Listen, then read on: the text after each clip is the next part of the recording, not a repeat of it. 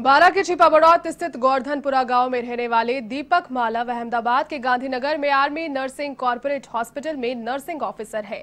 यहाँ ड्यूटी देते हुए दीपक खुद भी कोरोना की चपेट में आ गए। लेकिन उन्होंने कोरोना को मात देकर फिर से एक बार अपनी ज़िम्मेदारी संभाल ली है।